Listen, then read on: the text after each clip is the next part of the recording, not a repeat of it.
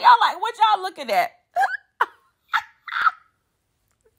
this is Donald Trump.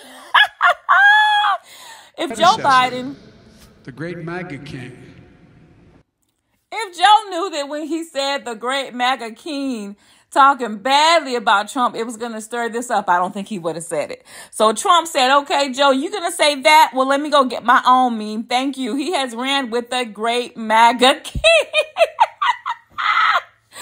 oh my gosh. And they're talking about, okay, first of all, let me tell you, I got this from Real Double D Mova, okay? Go listen to her. She has the real tea. She can keep you up to date on everything. I'm not getting into all of that. This is just funny as hell. I'm sorry. So they said the great MAGA or MAGA in English is a witch, and that MAGA is the fifth degree of high priest in the church of Satan. I, I don't know about all of that. I didn't even research it because I couldn't get past this damn picture. this is who run the country again.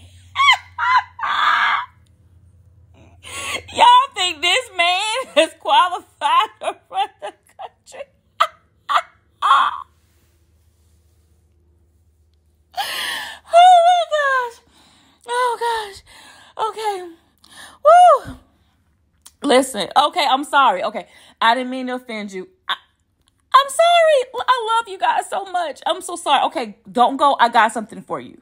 Here it is. Listen, y'all. Like I said, if you want the real scoop on that, Elon Musk and the whole thing, even more of this charade, go listen to the real Double D Mova. hey, y'all. So